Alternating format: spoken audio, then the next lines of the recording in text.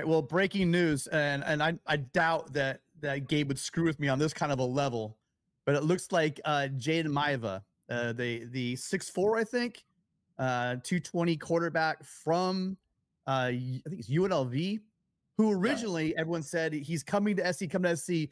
Last minute, decides he, he announces he's going to Georgia.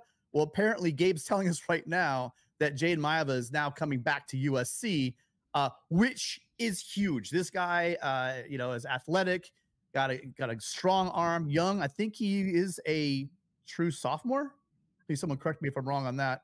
Uh, and he he would be that guy, you know, in case we were to have you know worst case and Miller Moss gets knocked down. This guy is absolutely gonna make me feel a lot better uh, about having someone behind him. Uh, and I guess our quarterback transfer portal. So that's great. Look, we've been looking to get a backup quarterback and we've been looking to beef up the interior defensive line. Well, bam, bam, uh, twice today that we've done that. So that's a pretty amazing to hear. Yeah, that's a that's a substantial pickup. Like USC needed someone. You know, like there was no QB two in the room. And let me be clear though, you know, this should be Miller Moss's team going into the LSU season opener. I know that we have spring ball, and I know that you might Lincoln Riley might unearth you know, some realizations, some discoveries, and, and maybe Jayden Maiava really impresses. But, you know, there's something to be said for the reality that this team went to the wall for Miller Moss in the Holiday Bowl. You know, and Mark, like we haven't been been talking USC with with you the past few weeks because of the holidays, because you know the playoffs semifinals were on the night of were on Monday night uh, on New Year's night, so haven't been able to talk to you. But Tim and I have been, you know, discussing, you know, hey, what was the difference between Miller Moss and Caleb Williams in the Holiday Bowl? And it was less about the men themselves. It was more about the team. The team, those other 10 teammates rallied around Miller Moss because they realized, you know, with Caleb Williams, when you see a superstar athlete, you think he'll he'll save the play. He'll figure things out. He'll be Houdini. He'll be David Copperfield. You know, he'll he'll he'll work his way out of trouble.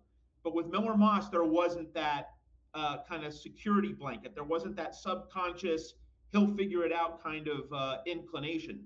With Miller Moss, the other 10 teammates, first off, they love him, they respect him. But then in terms of on the field, there was no, well, Miller Moss is going to save the day. It was exactly the opposite. It's we have to do our jobs to put our teammate, our friend, uh, Miller Moss in the best possible position to succeed.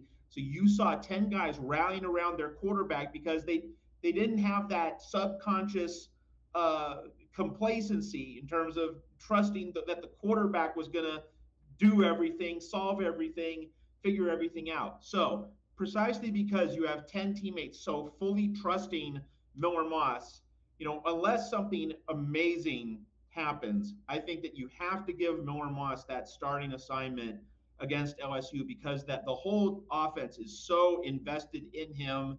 There is such a great relationship. It's the kind of thing you can't teach. It's the kind of situation as a coach that you can't manufacture. Like the belief, trust, togetherness, those things that coaches yearn for, it's all there. It's right now. It's all there with Miller Moss. You have to at least give him the start. Now, of course, if things go sideways, you now you have Maiava to plug in and and and let's say Miller Moss, you know, gets off on the wrong foot. We we have a, a history at USC of being able to plug in a number two who saves the day. Hello, Sam Darnold, 2016, in relief of Max Browne, who got that opening day start in a big neutral site dome game against an SEC team. So we, you know, it could be the same script, but but I do think that it shouldn't be I mean, there should be competition between Miller Moss and Jayden Maiava in the spring, but I do think that Miller Moss should be treated as the incumbent, and I, and I and I would like to think that Maiava is being told by Lincoln Riley, hey, if if anything happens to Miller Moss, be ready. You know it, that kind of a context. But I would like to think that he's he's coming as the guy who's going to begin as QB two behind Miller Moss's QB one there will be competition in spring, but like Miller Moss, you know, deserves that uh, preferred starters treatment you know, for the LSU game. But then, of course, you know, what happens in that LSU game and for the rest of the season, you know, that that is open ended. So hopefully, this is the best case scenario for USC. Hopefully, in a best case scenario, Miller Moss takes command of the team, does a great job in 2024, and then Maiava is then ready to take the keys to, of the offense in 2025. One of the things I've been talking with Tim and with our callers on our Friday call-in shows was that USC needed a situation akin to the buffet that Oregon has, with Dillon Gabriel being solidified as the 2024 quarterback. And the Ducks were able to convince Dante Moore to wait a year, and then it's your team, it's your offense in 2025. It's exactly the kind of situation USC needed to create with Maiava now in the fold. That it that is, or at least it should be, the situation that USC has established in its quarterback room hello Sam Darnold, but also hello Kedon Slovis, right? That's how his career got started at USC as well. Now, JT Daniels, absolutely. Thank, thank, you so much, Matt. You have shaken the cobwebs up here because I have been waiting for weeks to hit you guys up on this very topic. Because weeks ago we were discussing looking at the transfer portal list. At one point, it appeared as though Will Howard was going to be a USC Trojan most people were pretty happy about that considering the landscape of the quarterback transfer portal list, losing Caleb Williams. And there was this thought, and correct me if I'm wrong, generally that Miller Moss was an excellent prospect, that he was a four star guy, that he had not done anything to light the world on fire, but that he had showed progress and filled in capably in those few mop up duties. However, the plan A was to go out and get a veteran quarterback who had proven himself at the Power Five level. So is this more about Miller Moss has suddenly shown us something in the Holiday Bowl, and we really are putting a lot of value in that performance? Or is this more or less the the transfer portal list is dried up at the quarterback position with Cam Ward going to the NFL, Will Howard, Ohio State, and and there's nobody on the table. So we have to trust in Miller Moss. Tim, I'll let you ha- handle that one. So we didn't go up against uh, you know some minor league team in in the in the Holiday Bowl. We went up to a, a pretty good pass rush, decent defense, top 30, 35 defense. Yep. And Miller Moss put up those numbers. And really, when you look at 70% passing percentage, there he he threw like again, something we like to see. Instead of making those those offensive linemen, you know, hold or or have he would throw the ball away. If it wasn't there, he must have dumped two to three passes on screens that weren't there. He would just throw the ball away. He wouldn't force anything. But at the same time, he was on schedule making great throws. Um, it just seemed like again, this is going to sound weird. Uh, I would love to have Caleb Williams come back. I'd like to have him every single year as USC's quarterback. He's probably the best quarterback I will ever see at USC. But what Miller came in and do, did was a bit of a shock because the second half he came in for mop up duty in the Stanford game and didn't really impress a lot of uh, SC fans. You know, the, the offense looked a bit clunky. Now the problem is, is everyone goes, "Ah, oh, that's Miller Moss." Well, maybe it was just the offense in general. Maybe everyone kind of let the foot off the gas. USC was blowing them out. It wasn't really meaningful snaps. But then he steps in uh, to to the Holiday Bowl for for Caleb, with Caleb in the stands uh, in, on the sidelines watching him, and absolutely puts on a clinic. And uh, that again, uh, fight on Rusty. If you guys so go follow fight on Rusty on on Twitter X.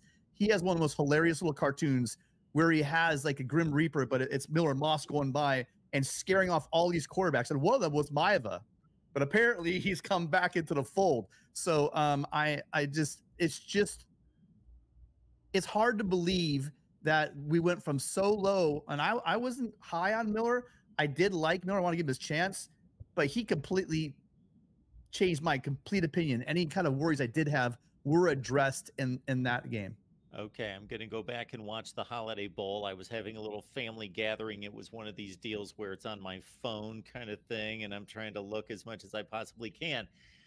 I also checked on guess what? Bowl, it being a bowl game, I'm guessing that Matt's going to follow my line of thinking because I'm seeing these huge numbers out of Miller Moss, and I know that Louisville can play defense. They did have a really good defense this year, but the first thing I'm thinking is opt outs. Well, I just checked them out.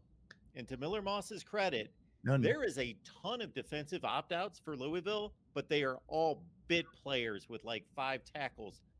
No major players for Louisville missed that game on the defensive side. So credit to Miller Moss tearing up a pretty good defense. Yeah, they're some of Yeah, the portal so- guys that weren't going to play got kind of, I guess the word is processed out. Those were the guys processing out. No, no one from Louisville was like um, opting out for the NFL or, or or or missing from the starting lineup. Yeah, that was that was the Louisville team that um that gave Notre Dame a hell of a lot of trouble in their game. Yeah, so Mark, you know, in terms of dealing with this quarterback question, you know, you and I have not talked in a few weeks. So, yeah, let's go through these plot points. First off, like I don't really know yet if Malachi Nelson transferred out because he thought Will Howard was coming to USC or because he knew that Miller Moss was going to be in front of him. Like I don't know that. It, it could have been it could be both, all right?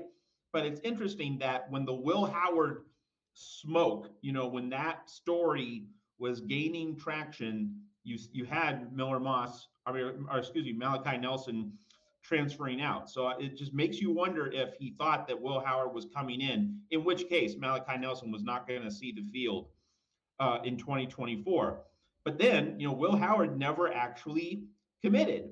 And so that leads me to believe that when Will Howard paid Lincoln Riley a visit, Lincoln Riley almost certainly, like we don't know this for a fact, but like we can put two and two together and be pretty confident in saying this.